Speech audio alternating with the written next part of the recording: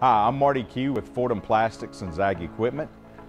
I'm the product manager for Plasdan Automation and Systems. Plasdan manufactures, designs, and builds add-on injection molding equipment, rotary platen systems for the two-shot injection molding industry.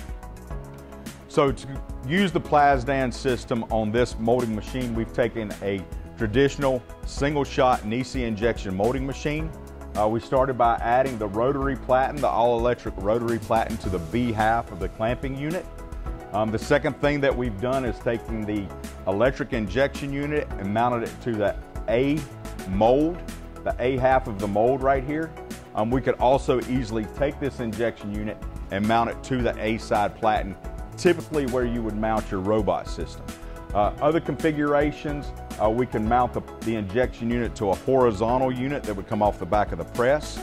All of this is done using a Euromap 67 configuration so that the Nissei molding machine and Plasdan system can communicate with one another.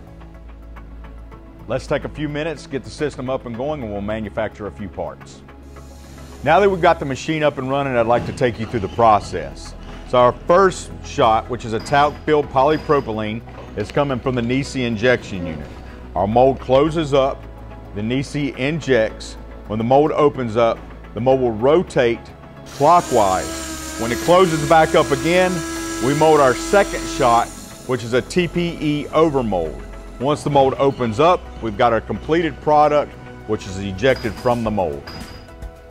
Now that we've got the machine up and going, I'd like to talk to you a little bit about the process. So our first shot, which is a poly, talc-filled polypropylene, is coming from the Nissei injection unit.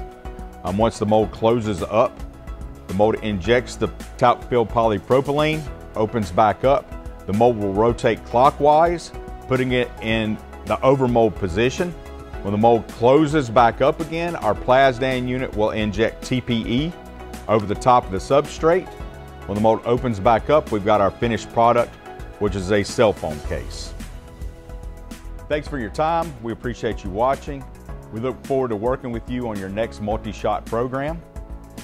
Feel free to give us a call at 888-845-6395. Until next time, this is Marty Key with Fordham Plastics, Zag Equipment, and Plasdan Automation.